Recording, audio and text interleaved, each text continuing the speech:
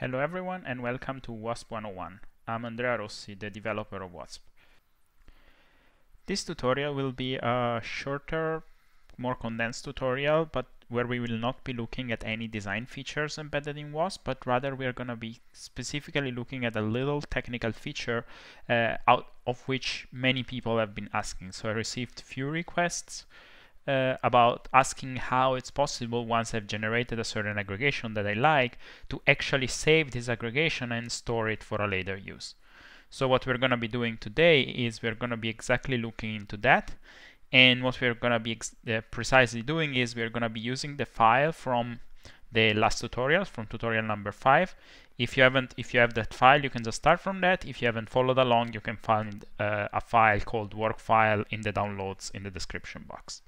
So what we are to do during this tutorial is we're to want to get the aggregation that we have here and that we created running with WASP and we want to save it into a file in order to be able to then further in a second file, even in another file or in a later time, reload this aggregation into Grasshopper and uh, use it to build a novel aggregation starting from there. So where did WASP go? Yeah. So in order to do that, we are going to be using two components which are provided by WASP. And you can find them in the aggregation tab. And these two components are the load from file and the save to file. We're going to start by first of all saving our aggregation. And to do that, we are going to right click, go and get a save to file. And so when we want to save a file, we are not going to be saving the individual parts, but we're to saving the we're to be saving the whole aggregation object, and the reason for that is that it stores some extra information.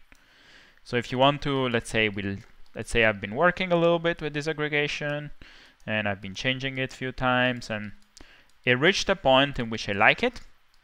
What I'm going to do is I'm going to get my aggregation, connect it to the aggregation in the save component then we have to specify a path where we want to save this file. To do that, we are going to bring in a file path component. Right click on it and go to select a directory, which are going to allow us to select a folder where to save this uh, file. And for now, I'm going to just choose my desktop, but you can navigate to any folder you have on your you like on your computer and save there. And then I'm going to connect that to path. I have then to specify a name for this file. Oops. And I'm gonna call this Maison Wasp and connect it to the name. And now what this is doing, if you see here in the text file, is generating a text description of the whole aggregation. And what we want to do is we want to save this text description in a JSON file. A JSON file is fundamentally a dictionary file, so it's sort of a structured file, uh, similar to an XML file, but a bit lighter. If we want to save the aggregation, we just create a button. And whenever we press this button, this aggregation will be written to a file. Let's go on and do it. And now that I've done this, if I go to the desktop, oops, here, you see that I have created a Maison WASP file. Just for you to know what this is, if I right click on this and open it with a text editor, uh, you're gonna see this very long string of text. But if I format it with a JSON formatter, you see what this exactly is.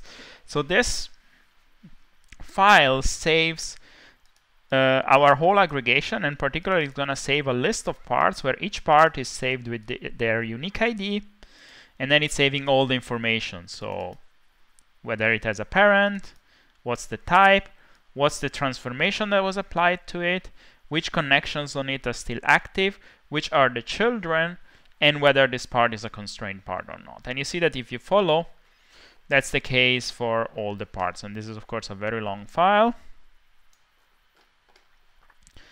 And here is all the information you might need for your um, for your aggregation. Okay, now that we saved it, let's see how we can bring it back. Let's move a bit lower and let's go and get uh, load from file component. Now, what I'm doing here right now is I'm doing it in the same exact file, but you could do it also in a separate file whenever you want. The uh, load part load aggregation component has two inputs. One input is asking for the parts of uh, composing this aggregation.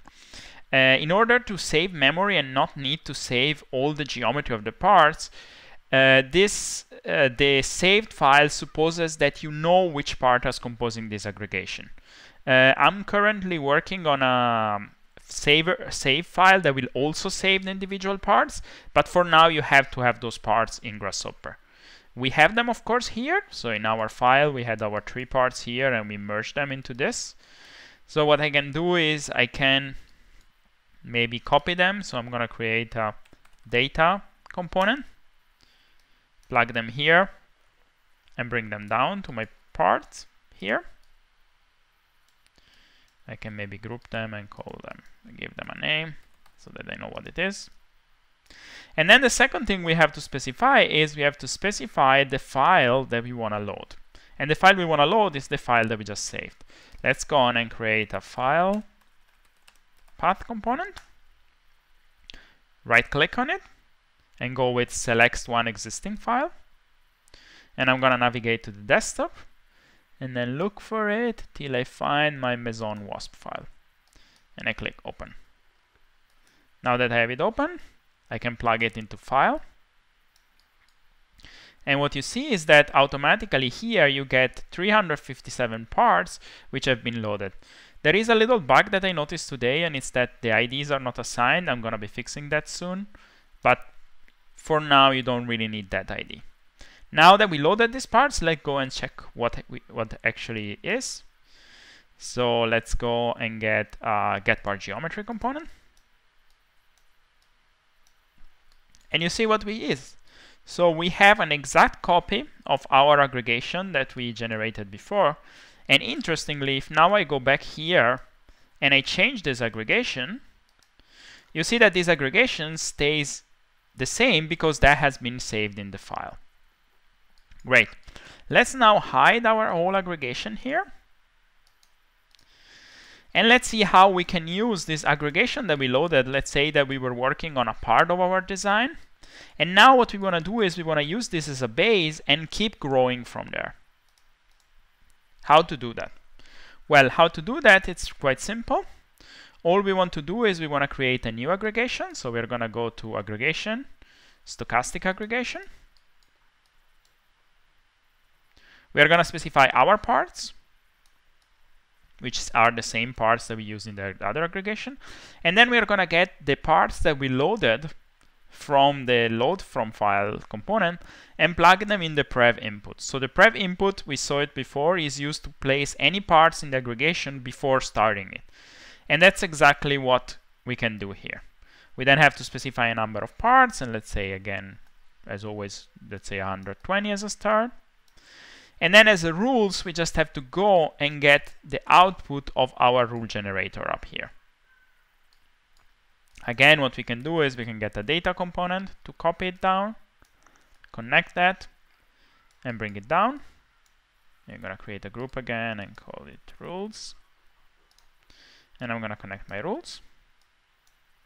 And we're done. And as always, let's also create a button. If now we go and see what we have in the output as a part with get part, sorry, with get part geometry, which you can find again in the parts tab, we see what's happening. We have the whole aggregation that we had before in place, and then we are adding new parts to it. If we would want to visualize just the new parts, what we can do is we can get a split list component, get our parts out, and get a length component, a list length component, and now connect that to the output of our load parts. Connect it there and connect it to the input. And now we can see that in the part A, in the output A of this list, we have our parts. And in the part B, we have the new parts placed. Let's go on and hide everything else.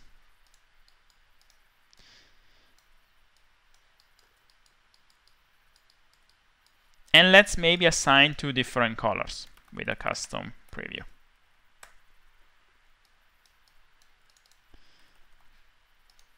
I'm gonna maybe give it a gray to this one. And I'm gonna maybe use a green for the new parts. I'm gonna hide whatever was before. Now we see that if I zero the number of parts, what I have as an output is exclusively the aggregation that I had saved. And as soon as I start growing, I grow new parts around it, but the, the original aggregation that I loaded from before stays there. And also if I go and reset, the new parts change, but the existing parts remain. So you can see that this is a very simple but effective method to uh, save an aggregation whenever you're done working on it and then load it at a later stage and use it to um, to build a new aggregation out of it. What's interesting is that this process can be done several times. What you could also do is at this point, once I'm done here, I could, for example, just for you to see, I could plug this here now, and I could save that. And if I would now reload the component, you see what happened. Now the aggregation that I had created is saved and it became the base I have. And now I can create 500 more and that's gonna be built on top. So you basically have available a pretty straightforward iterative saving mechanism that you can use uh, in the same way in which you would be saving a Rhino file or a Grasshopper file. And in this way, you can also work, and we're going to see more of this in the coming tutorials.